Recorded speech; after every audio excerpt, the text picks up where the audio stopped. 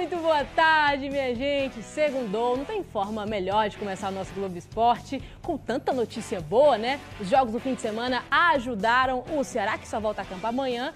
Mas a gente conta como é que o Fortaleza teve uma vitória importantíssima diante do Vasco. Incontestável. A gente fala como é que o Leão garantiu mais uma vaga agora para a Libertadores, a terceira em quatro anos.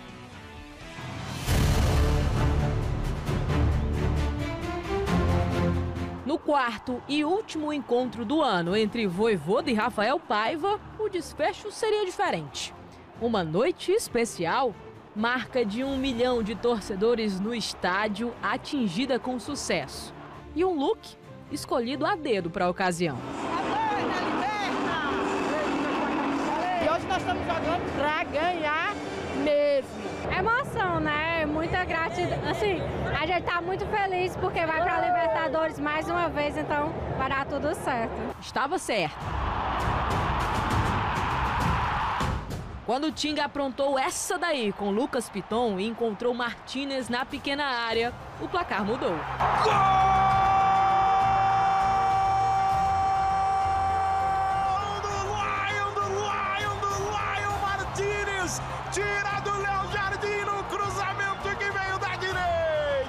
Sabemos que en la recta final todos los juegos son muy difíciles, en casa, fora.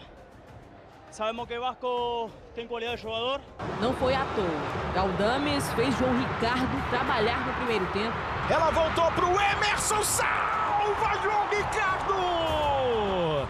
Mas defender muito também era um mérito do goleiro adversário. Salva Léo Jardim! Ela volta, bem chute pro gol para fora! A bola do Hércules!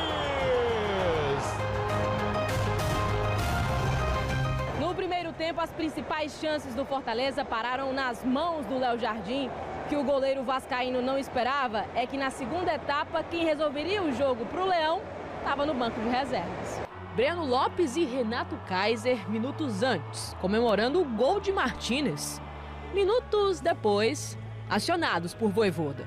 Primeiro Breno, entrou aos 19 e após três minutos foi oportunista a cabeçada de Mancuso não entrou, mas o camisa 26 estava por lá, só que impedido. Testou pro gol! Lá dentro! Pegou impedimento. Tudo bem, outra oportunidade viria. Antes, o Hércules queria deixar sua marca. De novo, Léo Jardim salvou pro Vasco. Ih, rapaz, na cavada vem golaço! Espalma, Léo Jardim! Era um leão inconformado com os gols perdidos, uma torcida vibrante querendo mais.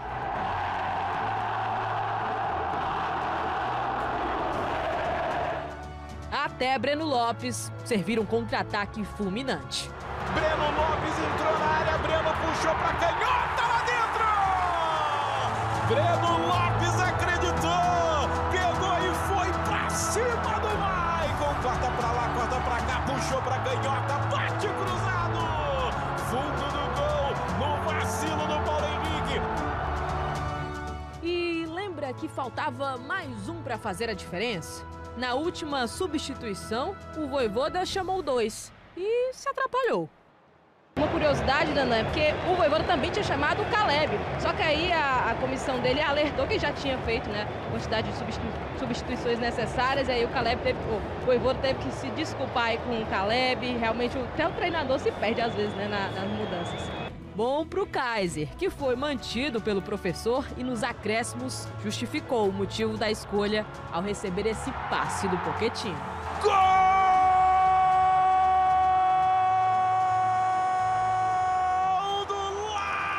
Uma jogada coletiva, um gol ali meio que de videogame, um golaço, eu acho que, que contou com, com a qualidade de todos ali do elenco, ali na construção ali, agradecer a eles também por ter me ajudado e mais três pontos na conta. Que fizeram o Leão garantir matematicamente a vaga para a Libertadores de 2025.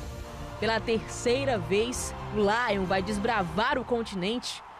Mas por enquanto, isso é tratado como papo para o ano que vem é que a luta pelo título brasileiro ainda não acabou. La briga está aberta para todos, es un campeonato muy apasionante, entonces eu quero continuar eh, y quiero ganar el próximo juego. Ese es lo principal.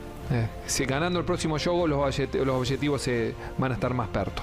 E o torcedor quer seguir assim, invicto em casa e cheio de motivos para continuar sonhando.